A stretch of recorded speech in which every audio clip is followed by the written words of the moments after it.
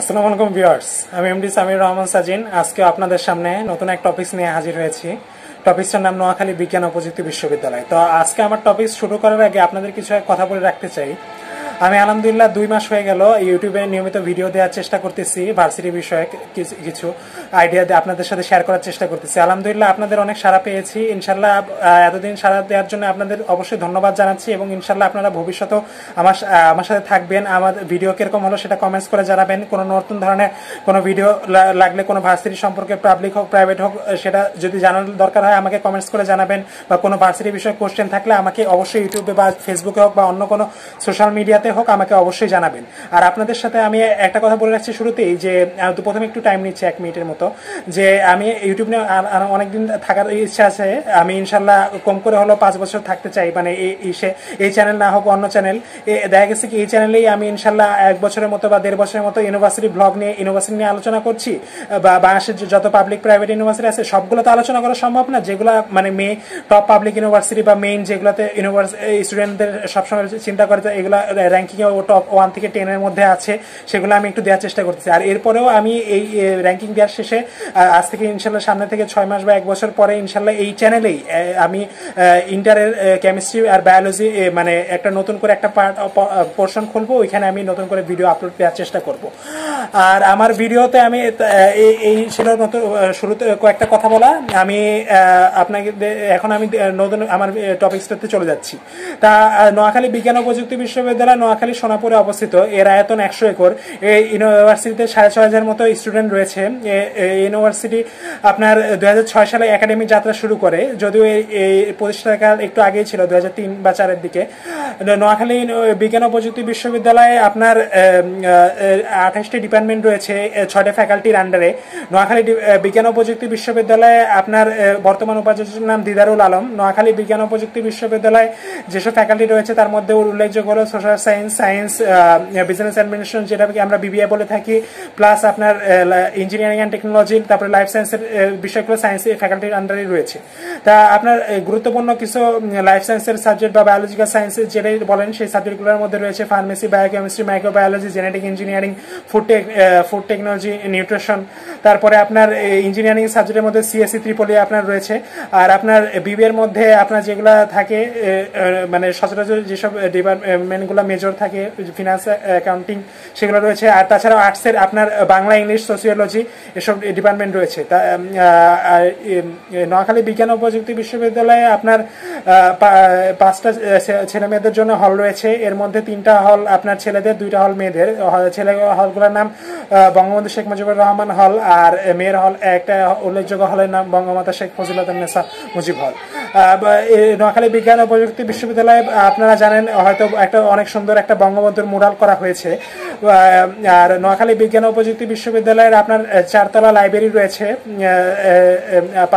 পাঁচতলা অডিটোরিয়াম এবং টিএসসি রয়েছে, একটা বিল্ডিং, ডেডিকেটেড বিল্ডিং রয়েছে, আর পাঁচতলা আপনার একটা অ্যাডমিনিস্ট্রেটিভ বিল্ডিং রয়েছে। নোয়াখালী বিজ্ঞান ও প্রযুক্তি বিশ্ববিদ্যালয়ের আপনার দুইটা খেলার মাঠ, দুইটা পুকুর রয়েছে, তারপরে নোয়াখালী বিশ্ববিদ্যালয়ে মাঠের সাথে আপনার ক্যাফেটেরিয়া রয়েছে, তারপরে অনেক ওইখানে একটু পার্কের আয়োজন করা হয়েছে ছাত্রছাত্রীদের জন্য, যেন তারা ইউনিভার্সিটি যে ক্লাস শেষে তারা আড্ডা দিতে পারে বা পড়াশোনা শেয়ার করতে পারে বা যেটা মানে বন্ধু বান্ধবদের সাথে গল্প যেটা, যেটাই বলেন আপনার সেটা করতে পারে। নোয়াখালী বিজ্ঞান ও প্রযুক্তি বিশ্ববিদ্যালয়ে বাংলাদেশের মানে র্যাঙ্কিং এর দিক থেকে চিন্তা করলে অবশ্যই শাস্ত্রের পরে এটা থাকবে। দুই হাজার দশ এগারোর দিকে একটা র্যাঙ্কিং করা হয়েছিল, আমি দেখলাম, সেখানে শাস্ত্রের পরেই ছিল। নোয়াখালী বিজ্ঞান ও প্রযুক্তি বিশ্ববিদ্যালয়ে আরেকটা র্যাঙ্কিং আমি দেখলাম, যেখানে একশো ছত্রিশটা বাংলাদেশের পাবলিক অ্যান্ড প্রাইভেট ইউনিভার্সিটির মধ্যে আপনারা জানেন, বাংলাদেশের প্রাইভেট ইউনিভার্সিটি একশো আটটা এবং পাবলিক ইউনিভার্সিটি পঞ্চাশের আশেপাশে।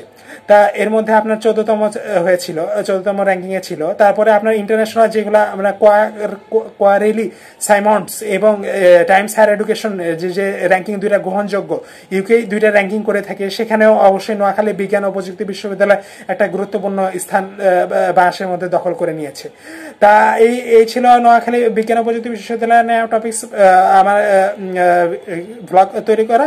আর আমি এখন কিছু একটু অফ টপিক্স নিয়ে কথা বলব। যেহেতু দু হাজার বিশ একুশ সালের পাবলিক ইউনিভার্সিটি পরীক্ষা সামনের মাস থেকে স্টার্ট হয়ে যাবে। আমি এখন যখন কথা বলছি সেই দিন থেকে শুরু করে ঢাকা ইউনিভার্সিটি পরীক্ষা আর আপনার নয় দিনের মতো এবং রাজশাহী ইউনিভার্সিটি পরীক্ষা বারো দিনের মতো যে বুয়েটের পরীক্ষা, এক মাসের মতো রয়েছে। আর শাস্ত্রীয় পরীক্ষা এক মাস পাঁচ দিনের মতো রয়েছে। আপনারা যারা অনেকে যেখানে কোচিং করেন বা যেখানে পড়েন, বাসায় পড়েন বা ভাইয়ের কাছে পড়েন স্কুল হোক সরি আপনার গ্রামে হোক শহর অঞ্চল মফসল শহরে হোক বা শহর ডিভিশনে হোক বা রাজধানীতে হোক যেখানে হোক আপনারা পড়াশোনা করেন ঠিক মতো এখন আলহামদুলিল্লাহ কোভিডে একটা ভালো সিচুয়েশন রয়েছে। আপনারা তো জানেনই যে ঢাকা ইউনিভার্সিটি সেন্টারগুলো এক এক ইউনিভার্সিটিতে হবে। যেসব রাজশাহী ইউনিভার্সিটি চিরাং ইউনিভার্সিটি যেগুলো, যে ডিভিশন ওয়াইজ যেগুলো মেইনলি পাবলিক ইউনিভার্সিটি আছে, সেগুলোতে হবে। আর রাজশাহী ইউনিভার্সিটির টাইমটাও দিয়ে দিয়েছে, আমি দেখলাম যতদূর।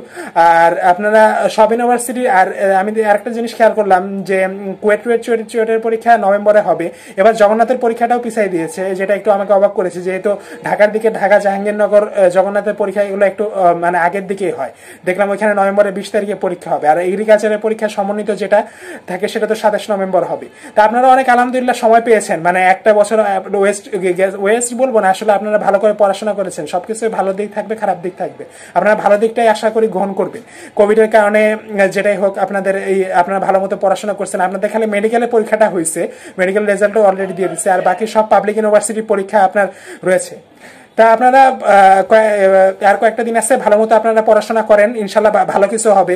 আপনারা কখনো মানে নিজেদের টেন্স ফিল করবেন এই কারণে যে আপনারা যখন ভার্সিটিতে পরীক্ষা দিতে যাবেন, তখন আপনারা কোনো কিছু মানে যেগুলো পরীক্ষার আগে নিয়ে ব্যবস্থা নেওয়ার দরকার থাকে অ্যাডমিট কার্ড ডাউনলোড তারপরে আপনার ইউনিভার্সিটিতে আগে থেকে টাইমলি যাওয়া, তারপরে একজন গার্ডিয়ান নিয়ে যাওয়া, তারপরে আপনার, অনেকে আপনারা, এখানে আপনার কিছু মনে করেন না যে, অনেক কোচিং সেন্টার সাথে থাকে বা অনেক বড় ভাইয়ারা আপুরে থাকে, এক এক ভার্সিটিতে দেখা গেছে তারা গাইডলাইন্স হিসেবে কাজ করে। ইউনিভার্সিটি গেলে ওই ইউনিভার্সিটি কোথায় কোন হল পড়বে, কোথায় কি আপনার থাকার জায়গায় দেখা যাচ্ছে অনেক ইউনিভার্সিটি আপনার হলে মানে থাকা ইউনিভার্সিটি স্টুডেন্টরা যখন বাইরের থেকে আসে, এক জেলা থেকে অন্য জেলায় যায় বা এক বিভাগ থেকে অন্য বিভাগে যায়, তাদের থাকারও ব্যবস্থা করে থাকে।